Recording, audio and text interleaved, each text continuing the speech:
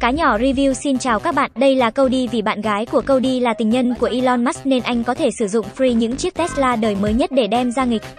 Để xem hôm nay Cody sẽ đem đến cho chúng ta bất ngờ gì nhé. Đây là một chiếc xe Tesla mới ra lò giá của nó chắc cũng khoảng vài trăm quả thận. Nó có thể phát hiện được các phương tiện khác xung quanh, vì vậy mà việc lái nó giống với việc bạn ở trong tù vậy. Rất là an toàn, giờ thì test thử phần bánh xem nó đỉnh như lời đồn không nhé. Cody dùng một cái nịt để nịt chắc phần bánh trước lại và lái nó đi. Các bạn nhìn xem, dù bị què một chân nhưng chiếc xe vẫn hoạt động trơn tru với ba chiếc bánh còn lại. Điều này chứng tỏ sức mạnh của nó là không thể xem thường. Đang chạy một lúc thì chiếc xe hết xăng á nhầm xe điện mà làm sao hết xăng được. Phải là hết điện mới đúng. Vậy nên Cody dừng lại sạc ở một trạm sạc ven đường. Ở bên Mễ thì những trạm sạc xe điện rất là thịnh hành luôn.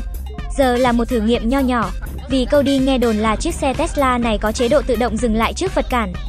Nên anh quyết định thử nghiệm với cái hình nộm nho nhỏ này và kết quả thì các bạn cũng thấy rồi đấy. Chẳng có điều kỳ diệu gì xảy ra cả chiếc xe hút thẳng vào chiếc hình nộm mà không thương tiếc. Đúng là quảng cáo cũng chỉ là quảng cáo thôi, quảng cáo với thực tế cũng cho phép có một tí sai lệch các bạn nhỉ.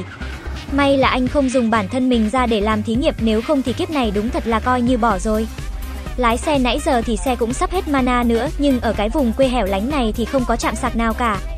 Trùng hợp thì có anh bạn áo đen này đứng im trên cây để giả cover làm cái cây như trong MV trốn tìm của Denver ấy. Kết cục là anh té sấp mặt lờ và gãy luôn cái chân. Hết cách câu đi phải dùng máy phát điện để sạc còn đưa anh tới bệnh viện kịp thời. Đúng là bạn với chả bè, chỉ ăn với báo là giỏi. Chiếc Tesla này còn có một chức năng đặc biệt đó là tự động lái thông qua app được cài sẵn. Cody test thử nhưng mà quên điều chỉnh hướng nên chiếc xe tự động tông thẳng vào cánh cửa và tìm đến anh. Kết quả là tốn hết nửa tháng lương để test phần kín ở phía trước xe. Nhưng lần này thì chẳng có bạn bè nào báo anh nữa mà anh tự báo mình. Bây giờ chúng ta sẽ đến với phần đỉnh nhất trong video là độ một bộ bánh mới cho chiếc Tesla này với những chiếc bánh xe bò khổng lồ được dùng trong những chiếc xe ngựa từ thời Napoleon. Nói là làm cũng như nấu là xào, sản phẩm đã được hoàn thành ngay lập tức. Trông nó hơi tào lao nhưng mà để xem cách nó hoạt động ra sao các bạn nhé. Cơ mà bánh xe bự đến nổi không thể mở cái cửa ra, như thế này thì đúng là quãi đạn thật. Cơ mà sao một hồi chật vật thì thanh niên bựa cũng vào được bên trong. Trời đất ơi, nhìn hình ảnh chiếc xe băng băng hiên ngang trên đường thì mình chỉ biết nói với câu đi hai từ tổ lái quái xế đây rồi. Anh đã vượt khỏi phạm vi sáng tạo của một con người, đúng ra thần thoại Hy Lạp phải được viết lại và tôn anh làm đấng sáng tạo. Chiếc xe băng qua hàng rào sắt và ung dung di chuyển trên đường. Mọi người trên đường ai cũng phải trầm trồ và hiếu kỳ đối với chiếc Tesla này của quý ngài Cody. Nhưng như thế chưa phải là tất cả, ngài câu đi chơi lớn lật ngược chiếc xe lại để lái luôn mới chất. Đúng là không chơi ngông thì đời không nể.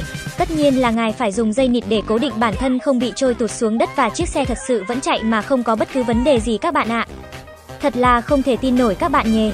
Ông nội mình cũng hơn 70 tuổi rồi nhưng ông cũng lần đầu tiên thấy thanh niên chơi ngông điên khùng vậy luôn đó. Giờ mà có bảng xếp hạng những kẻ chơi ngông điên khùng nhất thì tôi tin chắc anh trai câu đi của chúng ta sẽ đạt giải ngay. Một lúc sau vì máu dồn lên não nên ngài đã thấm mệt và trả chiếc xe lại về nguyên trạng. Thử chạy với tốc độ cao xem nào, chẳng khác nào một chiếc xe bình thường cả. Thậm chí với những chiếc bánh này thì nó còn bám đất tốt hơn. Chỉ có điều hơi êm mông một xíu nên mình không khuyến khích bạn nào bị trĩ mà thực hiện thử thách này nhé. Và cuối cùng để thể hiện sự chịu chơi của mình thì Cody đã cho chiếc xe tự lao xuống phía dốc và phá hủy nó. Những chiếc bánh không chịu được áp lực lớn đã phải giã từng phần một nhìn chiếc xe hư mà mình tiếc quá đi.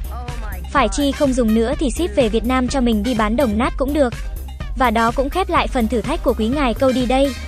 Mình thì vừa thấy khâm phục những ý tưởng táo bạo của ngài, dám lên ý tưởng dám thực hiện để cống hiến cho người xem chúng ta những video chất lượng nhất. Mặc dù ý tưởng của ngài đôi khi cũng hơi ba sàm ba lát nhưng ngài câu đi vẫn xứng đáng nằm trong ngôi đền của những huyền thoại đúng không anh em? Thôi thì cá nhỏ review xin chào tạm biệt các bạn nhé. Oh my god.